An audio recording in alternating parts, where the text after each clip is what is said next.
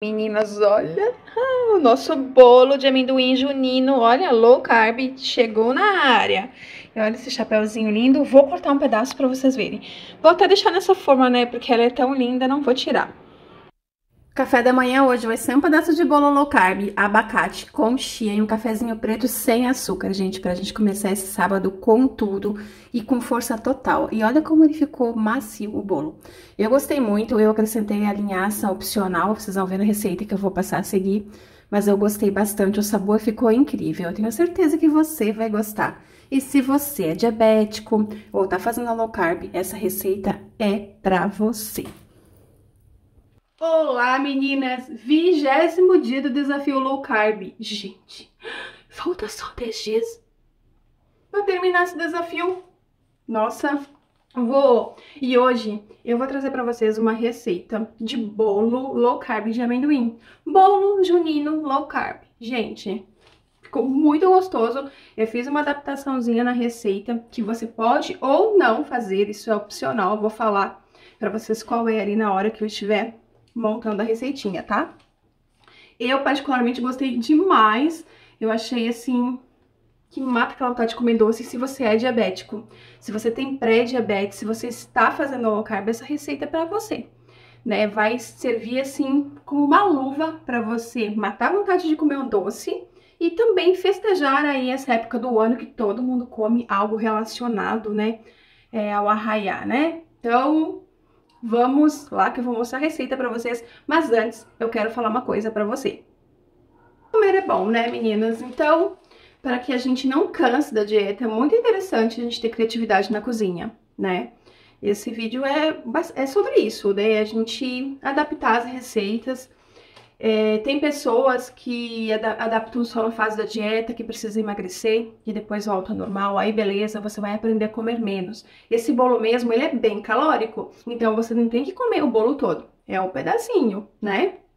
Então não tem essa de fit, posso comer à vontade. Não, é que a diferença é que ele tem menos carboidrato. Se você faz low carb, isso vai importar muito, porque vai fazer parte da sua matemática diária dos carboidratos. E se você é diabético, é...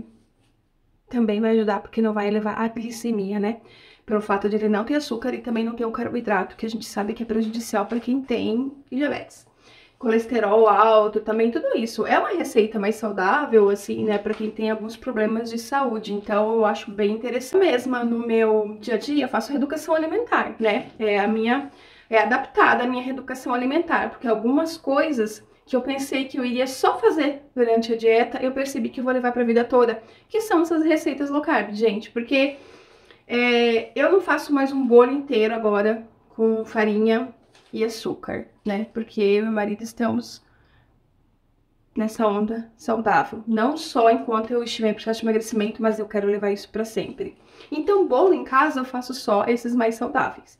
Aí se a gente quiser comer um bolo, ah, eu quero comer um bolo de laranja no, no, tradicional, né? Eu quero comer o bolo de chocolate tradicional, aí a gente vai em algum lugar que sirva com um cafezinho, comemos lá e tchau, né? É porque a gente decidiu assim, né? Eu acho que você também come menos um bolo assim fit do que um bolo tradicional. Porque é mais gostoso? É, talvez, né? O, o paladar da gente vicia no açúcar e no carboidrato. É um fato, então isso gera vontade de comer mais. E acredite, eu achei que eu não ia conseguir fazer isso e hoje eu consigo.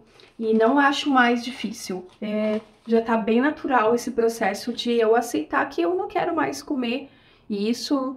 E tá, é natural, parece uma coisa que a sua mente vai te ajudando a moldar com o tempo, sabe? A gente até economiza, gente. É sério, às vezes as pessoas falam, ah, a receita low carb é mais cara.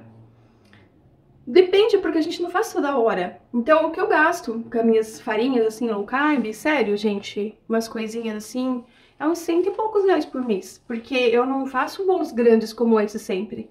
Eu faço só os menorzinhos. E isso vai descontando aí das outras contas que a gente já deixou de, de consumir.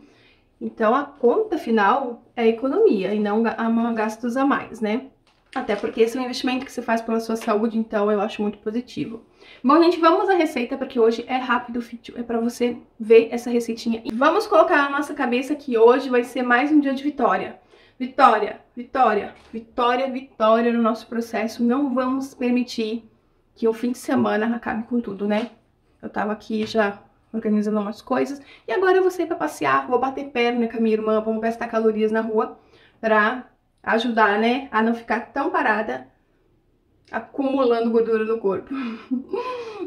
Beijo! Quatro ovos, meninas, para esse bolo de amendoim low carb, né? Pra gente não ficar aí as festas juninas só olhando o povo comendo os bolinhos juninos, né? Esse ovo aqui é caipira, por isso que ele tá desse jeito, nessa cor, né? Mais amarelo. Eu vou bater muito bem ele. Se você quiser, pode até usar a batedeira. É que eu eu vou bater na mão mesmo, tá? Pronto, bati. Agora eu vou colocar aqui 60 ml de leite de coco. Você usa o leite da sua preferência, tá? E já vou colocar a meia xícara de xilitol. Eu tô usando aquele xilitol bem fininho. Aí eu tinha um pouquinho do mais grosso e misturei, né? Porque senão não ia, não ia dar é, a quantidade correta do que eu tinha do fino, tá?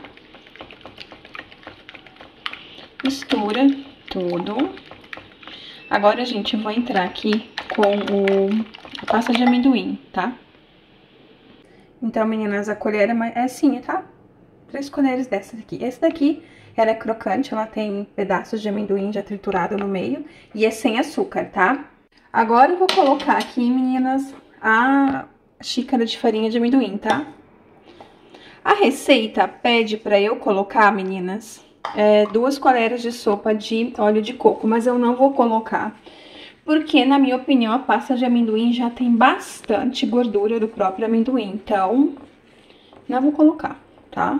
Não acho que seja necessário. Fica uma, uma ó, bem assim, consistente, já fica massa, tá? Eu vou acrescentar também aqui por conta minha própria, é, duas colheres de farinha de linhaça, tá? Eu acho que fica mais fofinho o bolo com a farinha de linhaça. Mas essa aqui é uma invenção minha, tá? então... Mas vai ficar bom, vai ficar bom, tá, meninas? Não se preocupa. E aí você, nessa altura, você já pode dar uma provada na massa pra ver se você acha que precisa de mais adoçante, tá? Eu coloco essa quantia, mas às vezes as pessoas gostam mais doce. Tem aqui, ó, amendoinzinho triturado. Vou colocar mais um pouco na massa. Só pra dar uma crocancinha, já que o meu, a minha pasta já tem amendoim, então não é necessário, né? Muito. E agora, pra finalizar, uma colher de chá de... Tem aqui minha essência de baunilha. Eu esqueci de pôr. Eu gosto de essência em tudo. nas receitas low carb doce, tá? E agora, olha minha massa que bonita, gente. Eu só vou agora colocar em forma. Vamos assar. Coloquei numa forma de coração, porque estamos no mês dos namorados, né?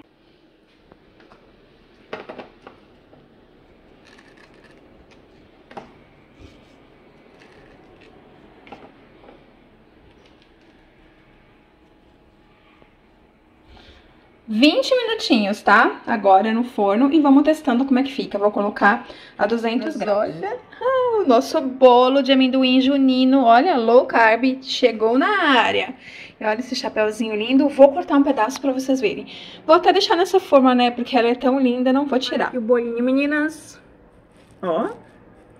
Meninas, eu já dei uma bicadinha nele ali, ele ficou muito bom. E agora, né, pra completar aqui, o que a gente faz? Coloca, né, um pouquinho de pasta de amendoim, ó. Se você gosta de mais doce, coloca um pouco de xilitol, né, na pasta de amendoim, que é pra... Sério, olha só que lindo. Aí você pode dar uma decoradinha com mais amendoim por cima. Vou fazer isso, só porque eu falei. Eu gosto, né, de enfeitar. Eu acho que dá um outro grau na comida. Olha isso, ó. Não, já não deu outra cara? Ah, ficou lindo, gente. E é isso aí. Se vocês gostaram, vão fazer, me avisem, tá? Sabe me deixa mais feliz nesses bolos? Meninas, que eu posso comer sem culpa. Mas claro que não pode exagerar, porque o amendoim, gente, é bem calórico. Então, se você faz low carb, é uma boa comer um pedacinho assim, olha. Um pedaço, meninas, vou levar pra minha irmã, que ela também é, é saudável, né? Ela tá nessa vibe, ela emagreceu também 20 e poucos quilos. Já faz dois anos e pouco que ela não engordou mais, ela se cuida. E porque o restante também vou congelar em pedacinhos, tá? Pra sempre ter alguma coisinha se a gente quiser, né? Que eu não vou comer um bolo desse é, sozinha, né? Meu marido até come, mas nem tanto. Então, vamos guardar, né? Pra não comer demais. Doce, meninas. Costela, salada, uma berinjela aqui que eu peguei pra provar. Olha só como a minha irmã também é fitness. Olha só. Entendeu? Olha, ó. Ela só tá na manutenção já. Ó. Meninas, olha só meu estado. Passei bastante com a minha irmã, tô aqui ainda, agora tô indo pra casa. Então eu tomei aquele café da tarde. Ela fez uma porção de salaminho com queijo pra mim, porque eu não podia comer pão. Aí comi aquele bombonzinho e finalizei, agora não vou mais jantar. Tá? Justamente pra me manter aqui nas calorias e nos carboidratos indicados. E até amanhã, tá, meninas? Tudo certo hoje e amanhã é um novo dia.